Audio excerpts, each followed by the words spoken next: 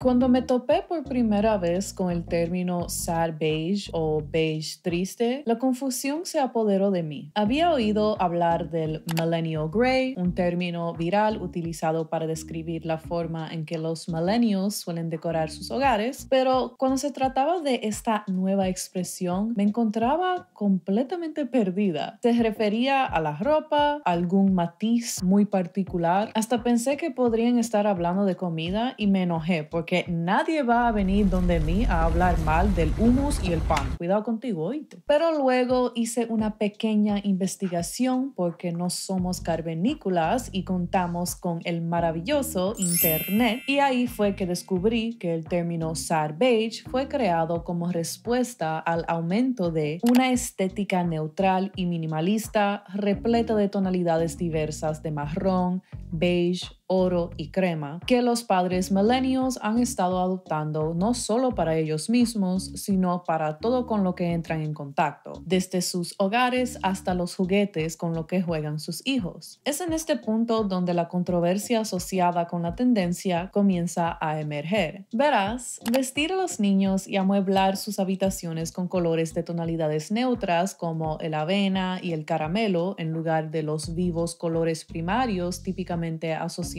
con la infancia puede resultar impactante para aquellos que tienen entrañables recuerdos de los brillantes y centellantes colores del arco iris que adornaban su niñez. Sin embargo, la aversión a la tendencia del sad beige no solo proviene de una diferencia de opinión, sino de una profunda inquietud acerca de si este aspecto monocromático y apagado podría tener un impacto negativo en los bebés y su desarrollo. La estética sad beige les está privando de la alegría? ¿Realmente está restando importancia a la infancia? ¿Hay más en esta tendencia que simplemente una cuestión de gustos? Vamos a explorarlo juntos. Hola, ¿qué tal mi gente? Soy yo Giseni y hoy estoy de vuelta con otro video. Antes de sumergirnos en la candente discusión que se está llevando a cabo sobre la sad beige mom o madre beige triste, es importante reconocer que en un principio se la conocía simplemente como la beige mom aesthetic o estética de la mamá beige. Para aquellos que abrazan este estilo de vida, la beige mom aesthetic es exactamente lo que suena. Es una estética neutral que refuerza el minimalismo a través de una gama de tonalidades de beige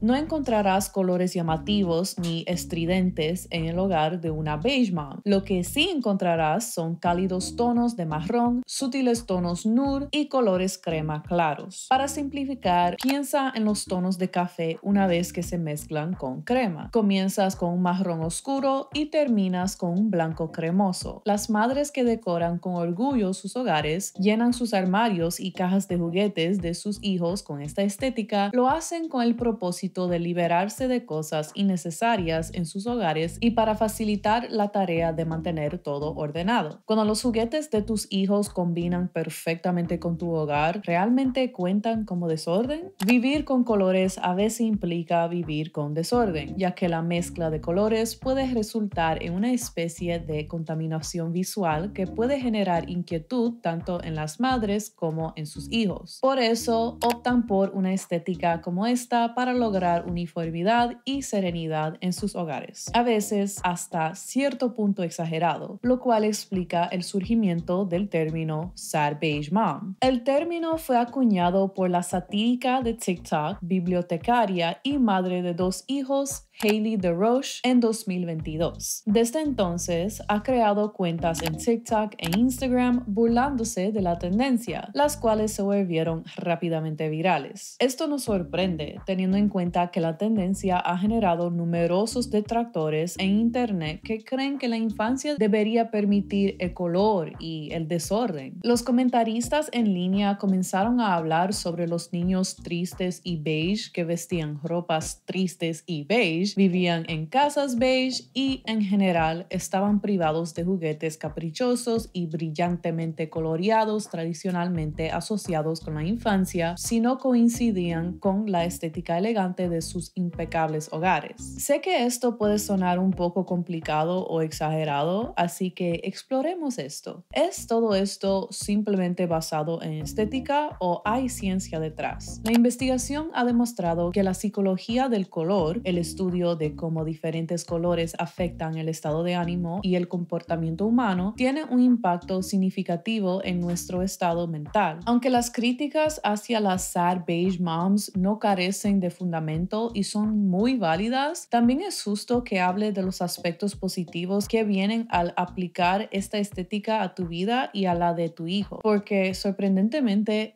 hay muchos. El atractivo del sad beige se reduce a varios factores y aquí van cinco de ellos que pude identificar después de realizar mi investigación y leer las opiniones de diversas madres que incorporan la beige mom aesthetic en prácticamente todos los aspectos de sus vidas. Si estás interesado en leer los artículos que utilicé como base para este video, todos los enlaces estarán en la descripción debajo. La primera razón es que la ropa beige y especialmente los juguetes beige están vinculados a materiales naturales más seguros para los niños. Los materiales naturales seguros y no tóxicos para los bebés tienden a tener este color. Por ejemplo, los juguetes de madera sin pintar y el algodón sin blanquear ni teñir son, en su mayoría, tonos de beige, convirtiendo este color en un símbolo de simplicidad y bienestar. Ahora bien, no quiero añadir ni una pizca de pánico o culpa a los padres que ya tienen suficientes cosas de las que preocuparse. Sin embargo, los juguetes tóxicos para bebés y niños pequeños son bastante comunes. La mayoría de los juguetes en el mercado hoy en día están fabricados con materiales tóxicos e incluso grandes marcas añaden toxinas a los juguetes para abaratar costos, hacerlos más flexibles o rígidos, retardantes al fuego, entre otras cosas. Para las compañías de juguetes es más económico y sencillo agregar productos químicos dañinos a materiales baratos que crear juguetes más seguros para bebés con materiales naturales. La mayoría de estos químicos utilizados en juguetes para bebés son inofensibles al tacto, pero representan un riesgo cuando se mastican, algo que suele ocurrir inevitablemente con los niños pequeños. Para obtener juguetes verdaderamente libres de toxinas, se aconseja a los padres que eviten los juguetes de madera o metal pintados, juguetes fabricados en China, Ay, Shein, ven a.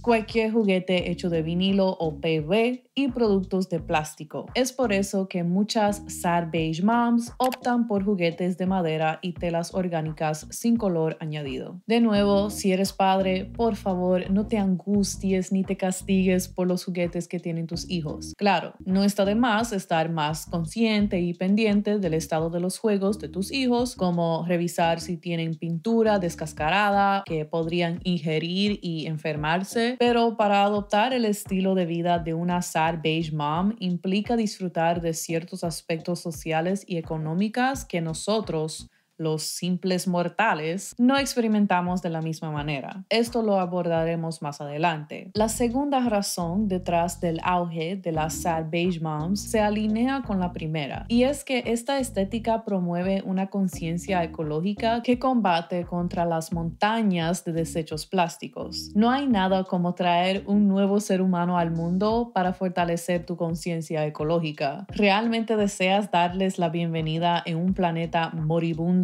Plagado de contaminación y residuos tóxicos. Esta tendencia, ya sea de manera intencional o no, respalda a empresas comprometidas con productos producidos éticamente y ambientalmente sostenibles, lo cual, en mi perspectiva, es algo positivo. El término ambientalmente sostenible me lleva a mi tercera razón por la cual las sad beige moms no son tan malas. El beige no tiene género. No seas tente, bebé. De. ¿Qué tiene que ver eso con el medio ambiente? Preguntas. Bueno, la ropa y los juguetes beige se heredan fácilmente debido a su naturaleza neutral, lo que significa menos desperdicio que eventualmente contaminaría nuestro planeta y sus recursos naturales. Al mismo tiempo, contribuyen a deshacernos de las restricciones de género obsoletas como el rosa es para las niñas y el azul para los niños. Tonos con nombres como arena, avena y crema TDH, que tripleta. No gritan ni masculino ni femenino de manera específica. Es un triunfo tanto para el planeta como para la sociedad en su conjunto. La cuarta razón por la cual la estética de la Sad Beige puede ser positiva es que Tal vez el beige no es un color triste, sino más bien uno relajante. Amy Wax, una artista y experta en color que se especializa en ayudar a las personas a elegir los colores que mejor expresan quiénes son en sus hogares, oficinas y ropa, sostiene que una persona que se siente atraída por el color beige valora la comodidad y la calidez. Es un color clásico que nunca pasa de moda y resulta tranquilizador. Según ella, envolverse a uno mismo y a su bebé en prendas de estos tonos apagados transmite calidez y seguridad. Esto no se aplica solo a la ropa, ya que colores neutros simples como beige, crema, topo, gris cálido y blanco pueden tener un efecto calmante y centrador cuando se utilizan en la habitación o la guardería de un niño. Mientras que los colores primarios crean un entorno estimulante que algunos expertos argumentan que ayuda en el desarrollo de los bebés, una afirmación que discutiremos detenidamente más adelante, la habitación de un niño debe irradiar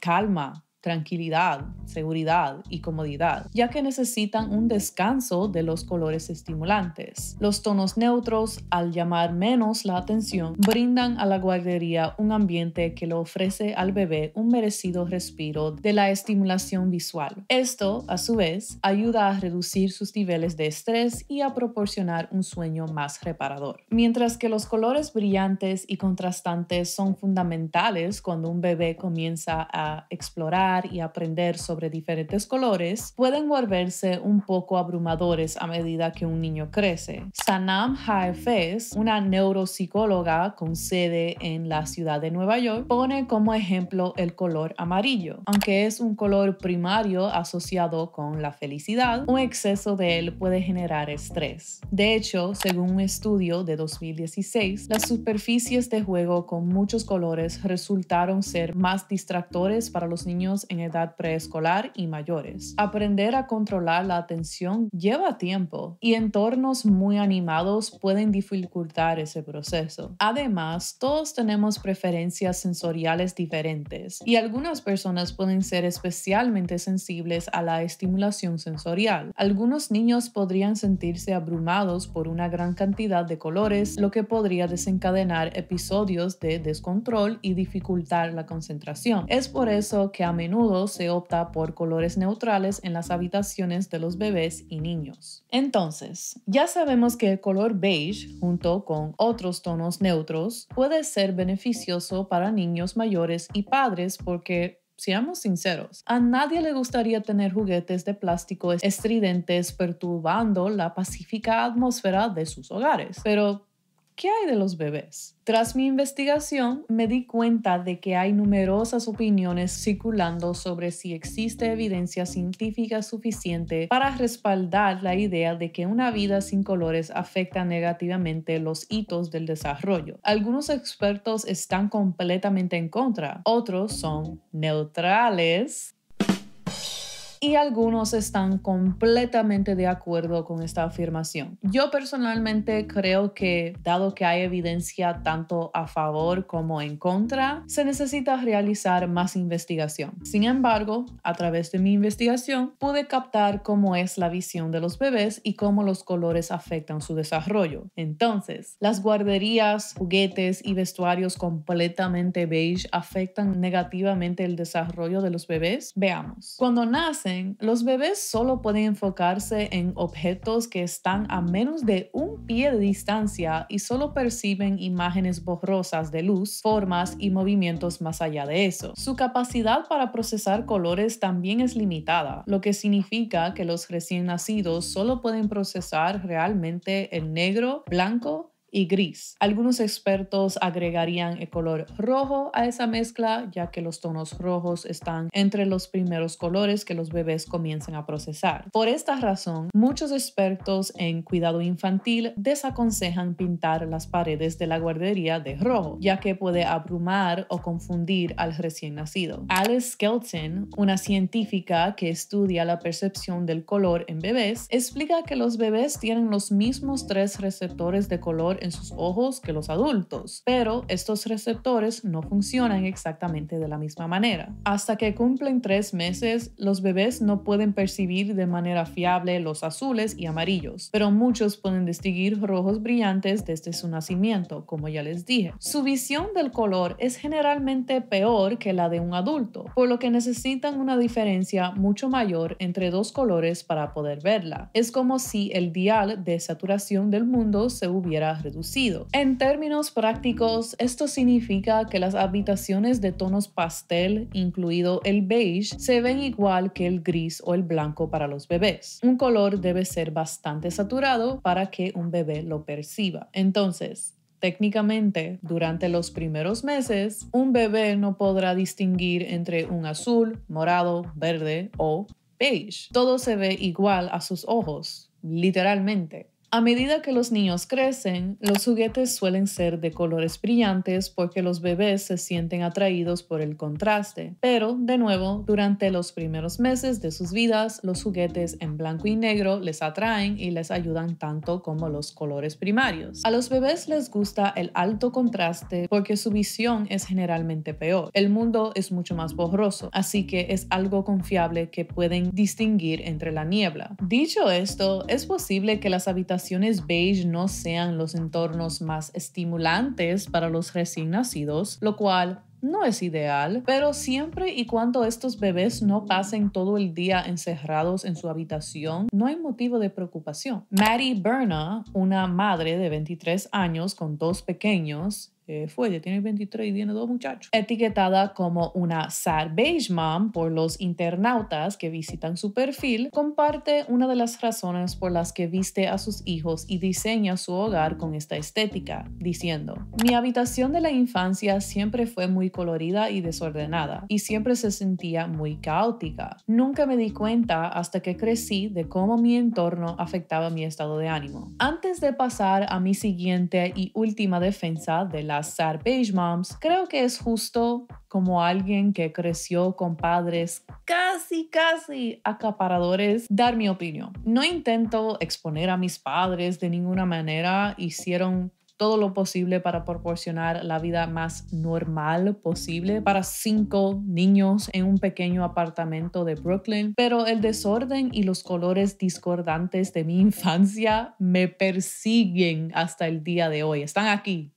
Ustedes no lo pueden ver, pero yo sí. Cada vez que algo no combina con mi estética o cuando mi apartamento está un poco desordenado, entro en pánico. Y sé que es por la forma en que crecí. Una gran fuente de mi ansiedad y claustrofobia se debe al hecho de que crecí en un apartamento de dos habitaciones con siete personas. Puede que esté hablando desde la perspectiva de creer que la hierba es más verde al otro lado, pero preferiría ser un sad beige baby que un anxious rainbow baby. Recientemente compartí un TikTok en mis historias de Instagram que resonó mucho conmigo, lo voy a poner aquí en la pantalla y demuestra perfectamente perfectamente porque no me ofende la burla hacia el millennial gray o del sad beige. Sé que mi tranquilidad mental es mucho mayor cuando el color, especialmente los tonos descoordinados, no están contaminando mi visión. Aunque exploraremos los aspectos negativos de ser una sad beige mom en un momento, quiero ser completamente honesta. Tengo una perspectiva muy sesgada. Desearía haber sido un sad beige baby a pesar de todas las imperfecciones y fallas que vienen con la estética. Mi quinta y última razón para defender a la estética de la sad beige mom es que es simplemente eso, una estética. Maddie Berna, la madre que mencioné hace poco, publica con frecuencia fotos de sus dos pequeños en habitaciones y ropa de colores neutros, lo que ha llevado a los observadores en línea a formar sus propias opiniones sobre la vida de sus hijos. A pesar de las críticas, Maddie Se mantiene imperturbable porque sabe que sus seguidores no ven el cuadro completo y que la vida de sus hijos rebosa de colores. Según Maddie, las sad beige moms como ella simplemente ocultan una vida más colorida tras la lente. Eso no es tan raro para ustedes que se dice la lente. La lente Mm, incluso esas cuentas que son completamente beige y demás hacen lo mismo. Esconden todos los juguetes coloridos en una linda cesta. Tienen una habitación entera que nunca te muestran porque podría ser una sala de juegos colorida. La habitación de su hijo, por ejemplo, se presenta en las redes sociales con un aire vintage, con tonos grises y madera. Sin embargo, la realidad es que la habitación cuenta con una manta azul con camiones, pósteres de Spider-Man y The Mandalorian y figuras de acción de Star Wars. Esos detalles que simplemente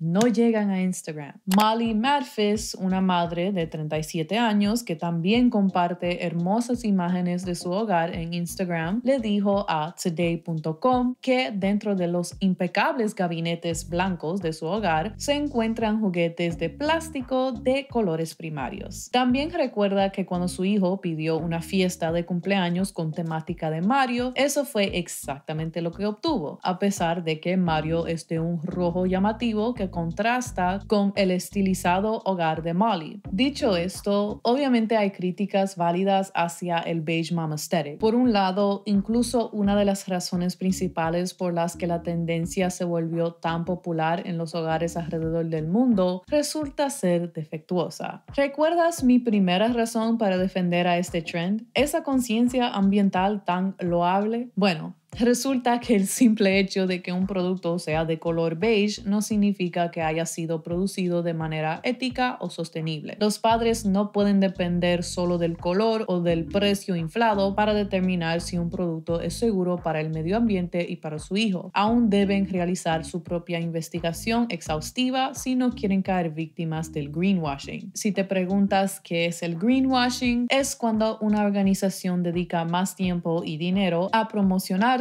a sí misma como respetuosa con el medio ambiente que a minimizar realmente su impacto ambiental. Es un truco de marketing engañoso destinado a confundir a los consumidores que prefieren comprar productos y servicios de marcas conscientes del medio ambiente, pero eso es un tema diferente para otro día. No sé cómo esto se me escapó para poner en mi guion, pero quiero abordarlo porque realmente fue la inspiración detrás de yo hacer este video y pues era un video, lo voy a poner aquí en la pantalla mientras hablo, de una madre pintando con esa pintura en lata, el spray paint, a un juguete que ella le compró a sus hijos o a su hija, hijo singular, no sé, sus hijes. Lo estaba pintando para que tuviera una estética que combinara mejor con su hogar. Y eso es lo opuesto a lo que una beige mom haría, porque no se supone que esos juegos de madera, que son de color beige, son así porque no son tóxicos y después tú vienes a pintar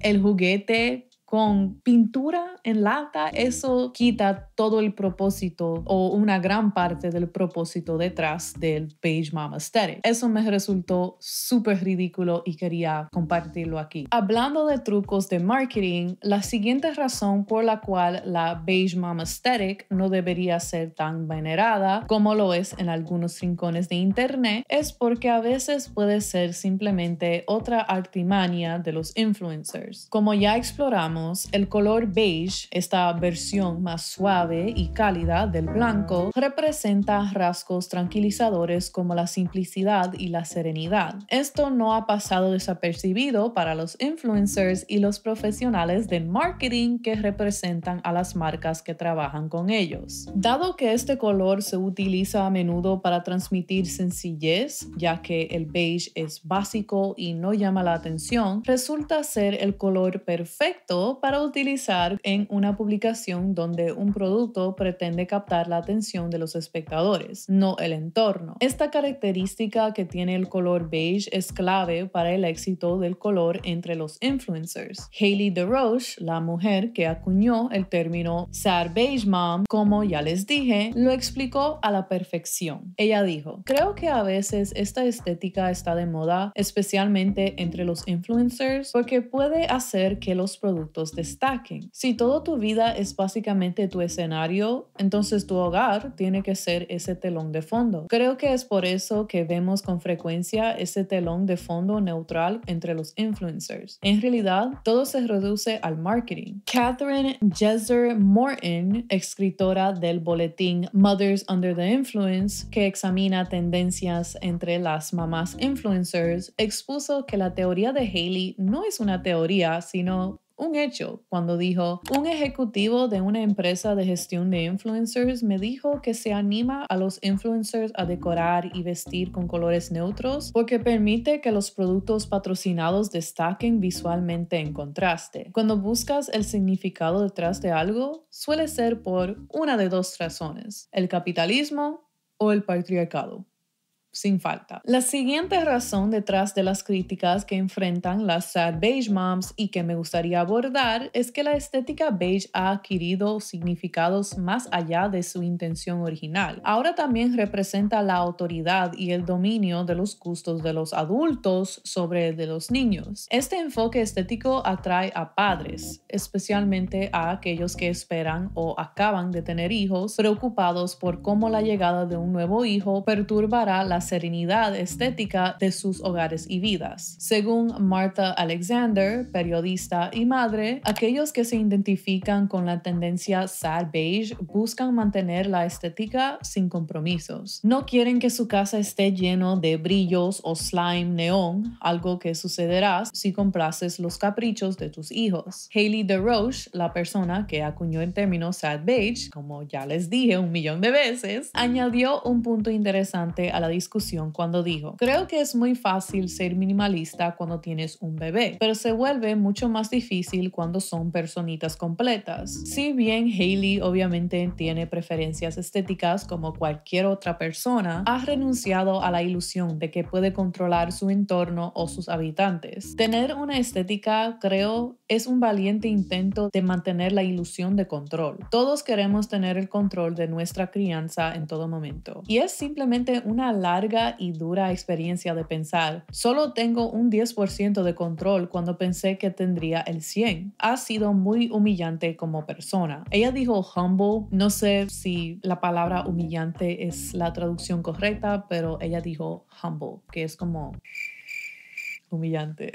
Además, el color beige en sí mismo es una elección cuestionable para la ropa que un niño usará mientras que realiza actividades normalmente asociadas con la infancia. ¿Cómo pueden participar en proyectos de arte o usar pinturas si su vestimenta es siempre beige? Esta estética parece priorizar la comodidad de los padres sobre la calidad de vida de los niños. Si bien ya hemos determinado que la sad beige aesthetic no es tan perjudicial para los niños como a menudo se cree o se retrata, está más que claro que esta tendencia favorece a los residentes mayores del hogar, es decir, los padres en lugar de a los niños, lo cual nunca debería ser el caso. Por sombrío que suene, una vez que te conviertes en padre, las necesidades y deseos de tu hijo deben estar por delante de los tuyos. Y a veces sus necesidades y deseos incluyen colores llamativos que no pegan bien con el resto de tu feed de Instagram. Hablando de Instagram, mi próxima crítica hacia esta estética es que todo es una fachada. Aunque las sad beige moms no temen admitir, en algunos casos, como vimos anteriormente, que sus impecables muebles blancos están repletos de juguetes de todos los colores del arco iris, aún necesitamos abordar el impacto que esta representación falsa tiene en los padres que habitan sus audiencias, hacerlos sentir que nunca podrán estar a la altura. Leí por ahí que en la búsqueda de una vida perfectamente beige, la mayoría del mundo está destinada a quedarse corta, incluso las personas que comparten estas imágenes aspiracionales. Esta siguiente razón se conecta de manera perfecta con la última porque el sucio secreto detrás de una vida beige perfecta es el privilegio necesario para mantenerla. Debes contar con el dinero suficiente para adquirir y el tiempo necesario para investigar los tejidos y maderas más sostenibles y de mejor calidad, así como el tiempo libre para que incluso te importe. Este fragmento de un artículo de BuzzFeed News captura perfectamente mis pensamientos. Las sábanas blancas deben lavarse y blanquearse regularmente para mantener su brillo. Las alfombras beige son extremadamente difíciles de mantener impolutas a menos que puedas contratar a un especialista para limpiarlas. Un bebé beige requiere una guardería beige, así que necesitas suficiente dinero para seleccionar todos los muebles a juego. No puedes simplemente aceptar piezas viejas de amigos o comprar lo que funcione en Facebook Marketplace ser beigificado es tener el dinero, la estabilidad y la seguridad para cuidar todo en tu vida con la máxima gracia, desde tus sábanas hasta tu piel. Es la libertad de organizar tu vida según una estética específica que requiere mucho esfuerzo. Es la capacidad de tener un hogar limpio, ropa planchada, una vela encendida agradable y aún así estar relajado. Comprometerse con la beigificación es tener los recursos para hacerlo. Yo pensaba que BuzzFeed no servía ni para votar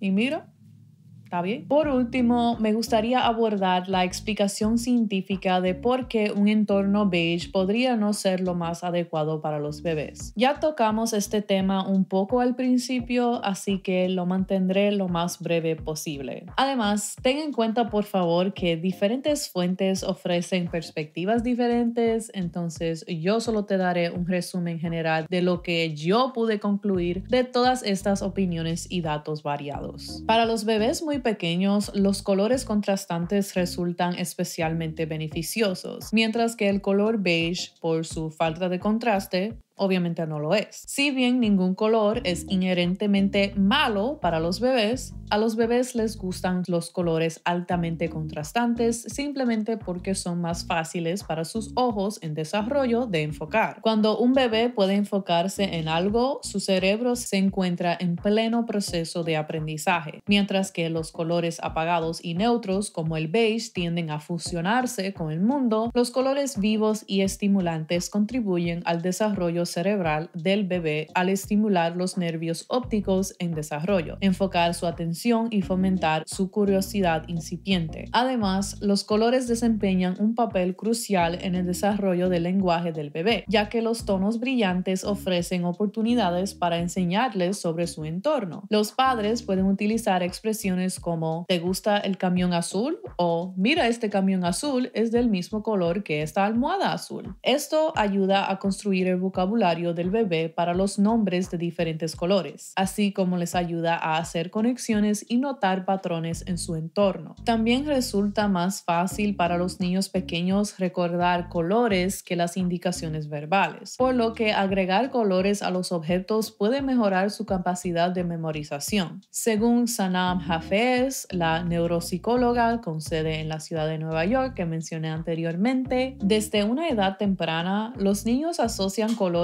con objetos particulares, es decir, amarillo para el sol, azul para el cielo. Los colores ayudan a evaluar, estimar y definir objetos. Esto puede ayudar a un niño pequeño a aprender y aumentar su capacidad de atención. Por ejemplo, un niño puede vincular el rojo a un camión de bomberos asociado con peligro. Con todo eso dicho, es importante destacar que los beneficios se centran más en el contraste y los patrones que en un grupo específico de colores. No obstante, como mencioné anteriormente, la preferencia por colores de alto contraste no implica la necesidad de evitar tonos neutros o apagados en la guardería del bebé o en los juguetes de desarrollo. Por el contrario, estos colores menos llamativos son igualmente importantes para el desarrollo cerebral del bebé, ya que proporcionan el descanso necesario para su mente. Para los bebés, estar constantemente expuestos a estímulos internos tensos, ruido o colores puede resultar mentalmente agotador, por lo que periodos de baja estimulación permiten que recarguen energías de manera efectiva. En fin, los niños prosperan mejor con una dieta balanceada de colores, siendo crucial cómo cada niño responde individualmente a los distintos colores de nuestro mundo. Considerando esto, lo ideal es que los padres se dejen guiar por las preferencias de sus hijos en lugar de seguir las últimas tendencias. La manera en que decidan decorar su hogar, vestir a sus hijos o elegir sus juguetes es completamente subjetiva. Existen suficientes preocupaciones en la mente de los padres como para gastar su tiempo en inquietudes estéticas. Creo que la mejor conclusión aquí es que los mejores colores para una familia son aquellos que los hacen felices. Pero todo esto es solo lo que yo pienso. ¿Qué piensas tú? Bye. ¡Felices fiestas!